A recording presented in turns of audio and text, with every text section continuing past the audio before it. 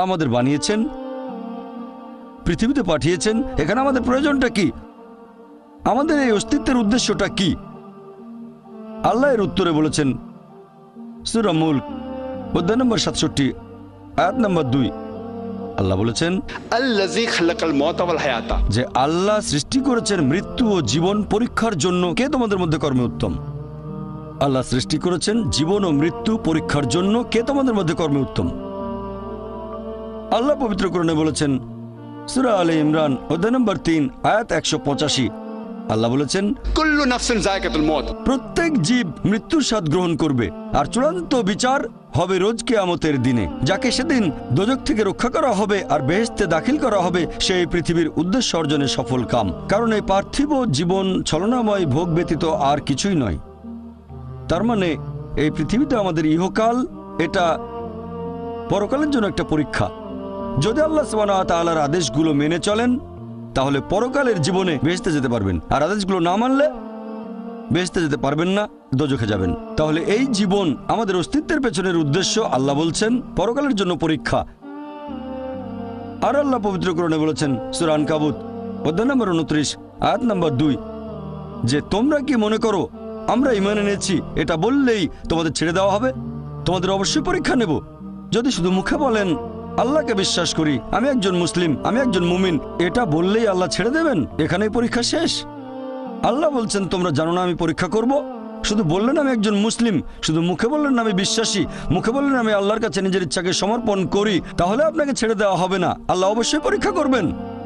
আল্লাহ পবিত্রকরণে বলেছেন, সুরা বাকারা, অধ্যায় নম্বর দুই, আয়াত নম্বর একশো পঞ্চান্ন, আমি অবশ্যই তোমাদের পরীক্ষা করব। ক্ষুধার ভয় দিয়ে, জীবন আর ধন সম্পদের ক্ষয়ক্ষতি দিয়ে এবং ফল ও ফসলের ক্ষয়ক্ষতি দিয়ে। আর শুভ সংবাদ দাও তাদের যারা ধৈর্যশীল, আল্লাহ সবাইকে পরীক্ষা করবেন। ভয় দিয়ে, ক্ষুধা দিয়ে, জীবন আর ধন সম্পদের ক্ষয়ক্ষতি দিয়ে, ফল ফসলের ক্ষয়ক্ষতি দিয়ে আল্লাহ অবশ্যই পরীক্ষা করবেন। আর আল্লাহ এক একজনকে এক একভাবে পরীক্ষা করেন। আল্লাহ পবিত্রকরণে বলেছেন, সুরা আনাম, অধ্যায় নম্বর ছয়, আয়াত নম্বর একশো পঁয়ষট্টি। আল্লাহ বলেছেন যে তিনি কিছু মানুষকে অন্যদের তুলনায় বেশি মর্যাদা দান করেছেন। আল্লাহ সবানা কিছু মানুষকে অন্য মানুষদের তুলনায় বেশি মর্যাদা দিয়েছেন। আল্লাহ কোরআনে বলেছেন সুরানাহাল অধ্যায় নম্বর ষোলো, আয়াত নম্বর একাত্তর, যে তিনি কিছু মানুষকে অন্য মানুষের তুলনায় শ্রেষ্ঠত্ব দান করেছেন।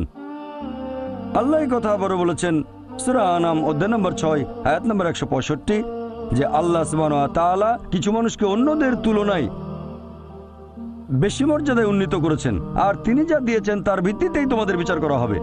এখানে অনেক লোকজন এভাবে প্রশ্ন করে, আল্লাহ তালা এখানে সুবিচার করবেন কীভাবে? কেউ হয়তো জন্মায় গরিব পরিবারে, আবার কেউ জন্মায় ধনী পরিবারে, কেউ জন্মায় ভালো স্বাস্থ্য নিয়ে, কেউ জন্মায় অসুস্থ হয়ে।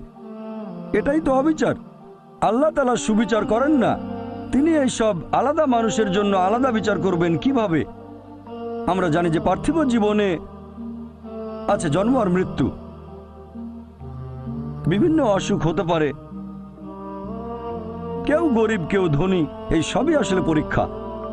আর আল্লাহ পবিত্রকরণে বলেছেন, সুরা আনফাল, অধ্যায় নম্বর আট, আয়াত নম্বর আঠাশ, আল্লাহ বলেছেন যে, অবশ্যই তোমাদের ধন সম্পদ আর সন্তান সন্ততি, এগুলো তোমাদের জন্য পরীক্ষা। এরপর সুরা মুনাফিকুন, অধ্যায় নম্বর তেষট্টি আয়াত নম্বর নয়, যে তোমাদের সম্পদ আর সন্তান সন্ততি যেন তোমাদেরকে আল্লাহ তালার স্মরণে উদাসীন না করে। আল্লাহ তালা এক একজন মানুষকে এক একভাবে পরীক্ষা করেন। আপনি যদি কাউকে জিজ্ঞেস করেন যে, ভালো কাজগুলো কি কি? আর ভালো কাজগুলো কি? এ ব্যাপারে আস্তিক নাস্তিক সব ধরনের মানুষই তখন বলবে, ভালো কাজ হচ্ছে দান করা, নিজে সন্তুষ্ট থাকা। কয়েকটা ভালো কাজের কথা বললে দান করার থাকবে। এখন একজন মানুষ পরোপকারী কি না, সেটা আল্লাহ কীভাবে পরীক্ষা করবেন? কিন্তু সবার সম্পদ যদি সমান থাকে, পরীক্ষার ব্যাপারটা তাহলে আসবে কীভাবে? পরীক্ষা তখনই নেওয়া যাবে যখন কেউ হবে ধনী আর কেউ হবে গরিব। তাই আল্লাহ তালা এক একজনকে এক একভাবে পরীক্ষা করেন। হয়তো কেউ জন্ম নিয়েছে ধনী পরিবারে, তাই সম্পদ অনেক বেশি, আবার কেউ জন্মায় গরিব হয়ে। তবে যে লোকটা ধনী, ইসলামিক শরিয়া অনুযায়ী ইসলাম ধর্মের একটা স্তম্ভ হচ্ছে জাকাত যে প্রত্যেক ধনী লোক যাদের সঞ্চয় নিসাব লেভেলের উপরে পঁচাশি গ্রাম স্বর্ণ, সে প্রতি হিজড়ি বছরে সেই সঞ্চয়ের আড়াই পার্সেন্ট জাকাত হিসেবে দান করে দেবে। সেই লোক হতে পারে লাখপতি, হতে পারে কোটিপতি। যদি সে ঠিকমতো জাকাত দেয়, তাহলে সে পাবে পাঁচ নম্বর। হয়তো সে পুরো জাকাত দিল না, সামান্য কিছু অংশ দান করল, যা দেওয়ার কথা তার বিশ পার্সেন্ট দিল। যেটা দেওয়া উচিত তার সামান্য অংশ দিল, তাহলে সে ফিল করবে। আবার কেউ হয়তো জাকাতই দেবে না। একেবারেই শূন্য। আর গরিব লোককে কোনো জাকাত দিতে হবে না, সেভাবে ফুল নাম্বার কিন্তু আমরা মানুষরা এভাবে বলি, আহা, বেচারা লোকটা খুব গরিব। এই লোকটার জীবনে শুধু সমস্যা আর সমস্যা। আর ধনীদের দেখে আমরা মুগ্ধ হই। আমাদের প্রিয় নবী বলেছেন যে, একজন ধনী লোকের বেহেস্তে প্রবেশ করা গরিবের চেয়ে অনেক বেশি কঠিন। আর পবিত্রকরণ বলছে, সুরা আনফাল, অধ্যায় নম্বর আট, আয়াত নম্বর আটাশ ধন সম্পদ তোমাদের জন্য পরীক্ষা, এটা পরীক্ষা। আমরা বোকা তাই এভাবে চিন্তা করি যে এই লোকটার অনেক টাকা, আল্লাহ অনেক রহমত দিয়েছেন। এটা একটা পরীক্ষা। যদি এই রহমত ঠিক মতো ব্যবহার না করেন, এটা অবশ্যই রহমত, তবে এই পরীক্ষায় ফেল করার সম্ভাবনা অনেক বেশি। যেমন ধরেন, বোর্ডের একটা পরীক্ষার প্রশ্ন গত বছরের কথা, দু বছর আগের কথা, দুই হাজার দুই সালের কথা। সেবারের প্রশ্ন খুব কঠিন ছিল। বেশিরভাগ ছাত্রছাত্রী উত্তর দিতে পারেনি পরের বছর সেই প্রশ্নটা আসলো না।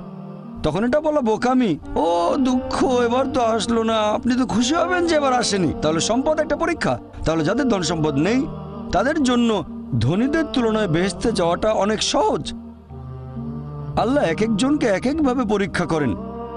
সেজন্য আল্লাহ বলেছেন, তোমাদের ধন সম্পদ যেন তোমাদেরকে আল্লাহ তালার স্মরণে উদাসীন না করে। এটা একটা পরীক্ষা।